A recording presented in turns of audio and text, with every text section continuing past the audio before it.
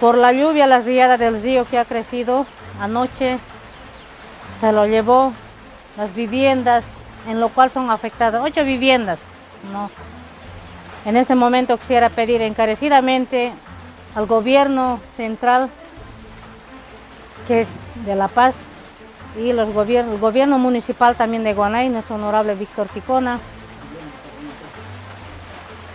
gobierno departamental, en lo cual eh, nos pueda apoyar, nos pueda brindar el apoyo a la comunidad Trapiche pues nos sentimos apenados por nuestros compañeros, compañeras afiliadas, la compañera que ha perdido su vivienda, ella es viuda, ¿no?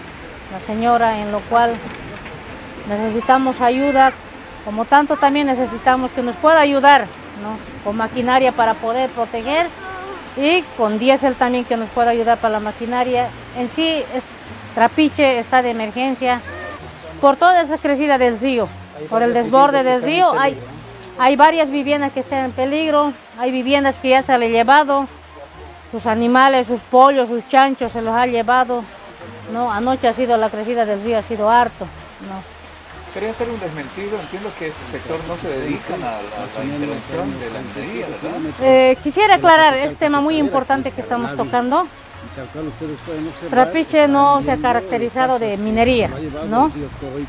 En lo cual, como ustedes pueden ver, Trapiche siempre se ha dedicado a la agricultura, somos agricultores, ¿no? Hay una parcela que se le ha llevado cacaos, la señora también es viuda, ¿no? Ella se sustenta, el vivir de a diario con sus plantaciones de cacao. Pero lamentablemente el río se lo está llevando más, ¿no?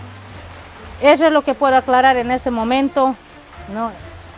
Rapiche no se caracteriza de minería, ¿no? Netamente agricultura como lecos que somos, ¿no? Vuelvo a reiterar al gobierno que nos pueda ayudar, las gobernaciones nos puedan ayudar, nos puedan brindar ese apoyo esa ayuda que necesita Trapiche.